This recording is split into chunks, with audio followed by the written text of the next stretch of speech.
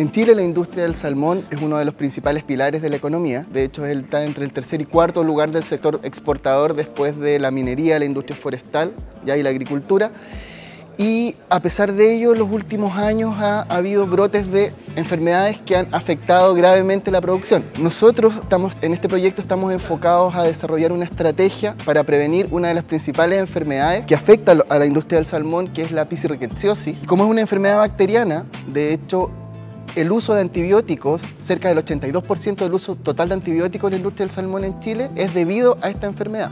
¿ya?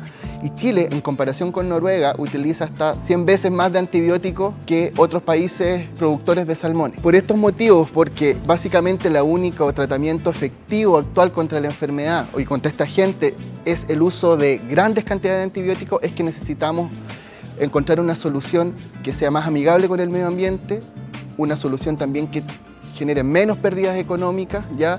y que pueda, entre comillas, disminuir los brotes de esta enfermedad y controlar las pérdidas económicas que genera esta gente. Existen actualmente registradas en el SAC alrededor de 30 vacunas, pero ninguna de estas es eficiente para controlar la enfermedad, no generan el grado de protección esperado. De esa forma hemos comenzado a diseñar una nueva vacuna basada en diferentes proteínas que forman parte o que participan, perdón, en el proceso infectivo de la bacteria. Por lo tanto, estas proteínas deben ser presentadas, entre comillas, como antígeno, por lo tanto deberían tener el potencial de generar una respuesta inmune eficiente para poder combatir la enfermedad.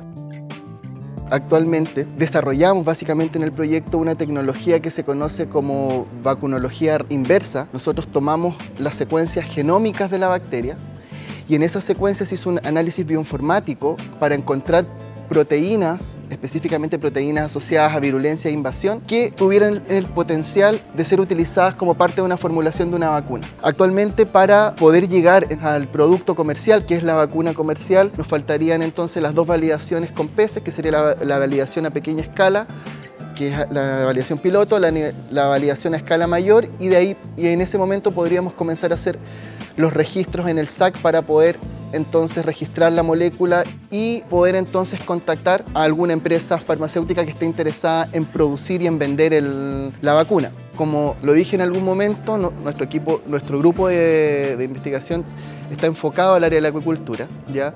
Eh, estamos trabajando eh, arduamente en encontrar diferentes soluciones tecnológicas ¿ya? para enfrentar a los patógenos que, que afectan a la industria del salmón Finalmente nuestro enfoque en los últimos años, y queremos seguir con este mismo enfoque, es generar proyectos de I+.D. favorables a la industria acuícola en este caso y que aporten al desarrollo del país.